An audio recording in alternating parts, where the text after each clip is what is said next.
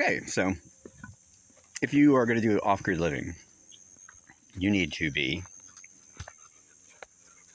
adaptable and um, make as many plans as you want, but your plans will mean nothing whatsoever. Whatever you plan on doing for the day, okay, not going to happen. Um, there are always immediate needs um, that jump up, okay, and that will stop your plans. Um, that is the beauty of off grid living.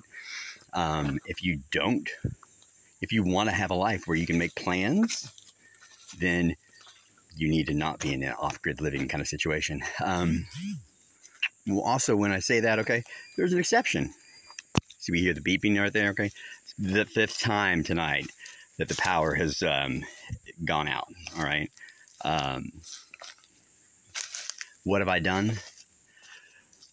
Turn the air conditioner on. Um, so, um, God, what was I saying?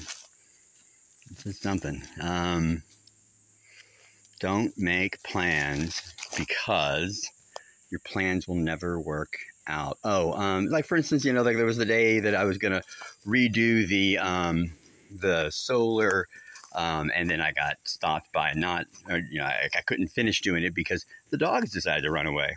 Um, so I spent that entire evening looking for the dogs. And the dogs just showed showed up at four o'clock in the morning. Um, so then I was like, all right, well, so today is going to be all about security. Um, so I started working on my fence, and I spent that entire day working on fencing, and I got about maybe sixty percent of one acre fenced in. Okay, um, which is great. That was some progress. Course, forty percent of it still being unfenced um, means that there's no value to it whatsoever.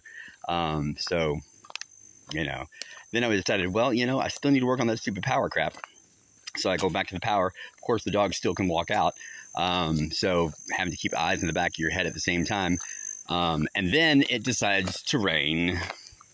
So who cares about the solar when it's raining, okay?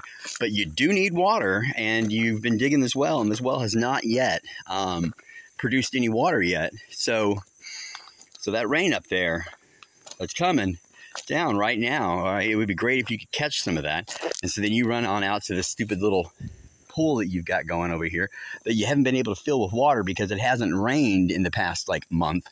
Um, and you've got plastic over it to try to prevent evaporation. Um, anyway, you tie it up here, okay, and you try to make a big thing where you can catch water and it'll all flow into there.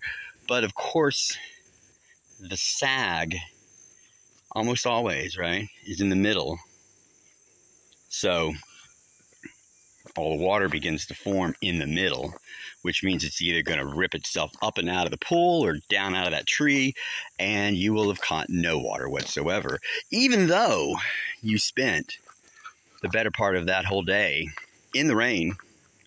Um, trying to build support structures for your stupid plastic tarps and searching for your staple gun.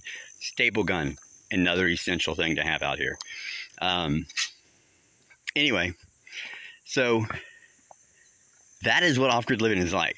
Um, it's actually really kind of still good though. Okay, um, I'm never bored. Never.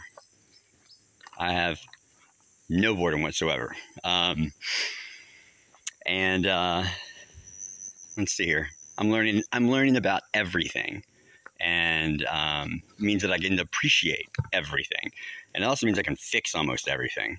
Um, and I mean, you know, project management skills. So if you want to go on and do a career job anywhere in any kind of company, okay, mention off grid living, okay, and then talk about it in business terms, which are project management, um, skills development, um, learning uh, time management, um, let's see here. Risk assessment,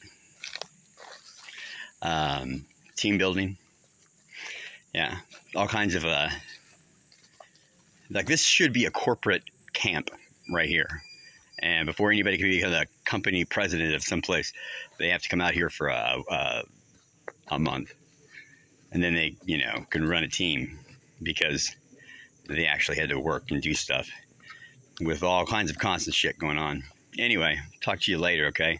Um, that point of this video, okay, was adaptability.